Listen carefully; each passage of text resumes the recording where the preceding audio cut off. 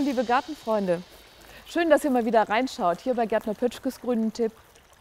Auf die heutige Folge freue ich mich ganz besonders, auch wenn es ein wenig nass wird.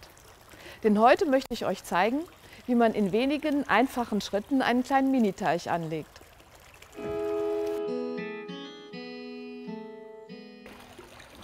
Wasser fasziniert groß und klein. Für viele hat es sogar eine beruhigende Wirkung.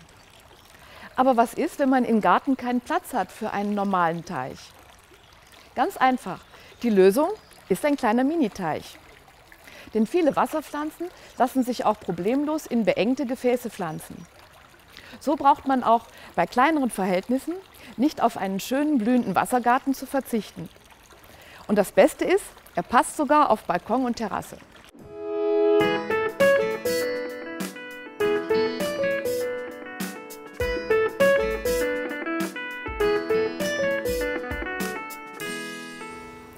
Ich habe mich heute für eine alte Zinkwanne entschieden.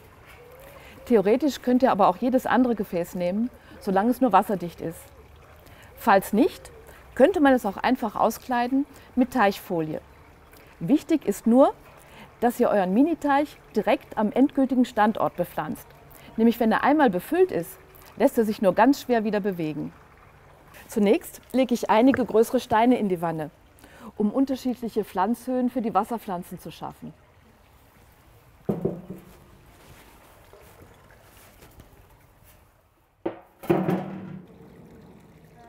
Den Rest des Bodens bedecke ich dann anschließend mit Kieselsteinen.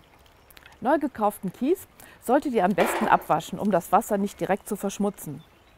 Das geht zum Beispiel ganz einfach in einem Eimer. Im nächsten Schritt kümmere ich mich um die Pflanzen. Diese werden nun in solche speziellen Pflanzkörbe aus Kunststoff gesetzt, denn die dämmen eine unerwünschte Ausbreitung ein. Um die Körbe zu beschweren, befülle ich auch sie zuerst mit einer dünnen Schicht Kies. Wasserpflanzen sollten immer in nährstoffarme Teicherde gesetzt werden, damit sich keine Algen bilden. Da diese Körbe hier sehr feinmaschig sind, kann ich sie direkt bepflanzen. Gitterkörbe mit groben Maschen solltet ihr dagegen mit Vlies auslegen, damit die Erde nicht ausgespült wird. Aus dem gleichen Grund decke ich die Erde jetzt auch noch einmal mit Kieselsteinen ab. Beim Einsetzen der Pflanzen müsst ihr jetzt nur noch auf die richtige Pflanztiefe achten. Und dann kann der Miniteich auch schon mit Wasser aufgefüllt werden. Ideal wäre kalkarmes Wasser, zum Beispiel Regenwasser aus einer Regentonne. Ansonsten tut es aber auch der Gartenschlauch. Nun dauert es nicht mehr lange und euer Miniteich entwickelt sich zu einer prächtig blühenden Wasserlandschaft. Optimal ist ein Standort, der in der Mittagszeit etwas Schatten bietet. Dann heizt sich das Wasser nicht so sehr auf und es verhindert, dass sich zu viele Algen bilden.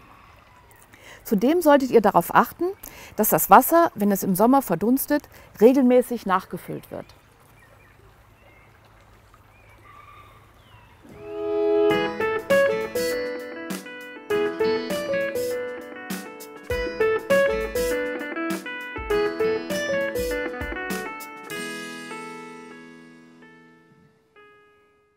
Ich hoffe, dieses Thema hat euch genauso viel Spaß gemacht wie mir.